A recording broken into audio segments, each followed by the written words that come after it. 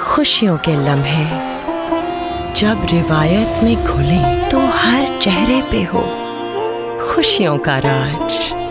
ये हैं वो अनमोल पल जिनकी लज्जत में छलके प्यार की महक। खुशियों के हैं सारे जोड़ते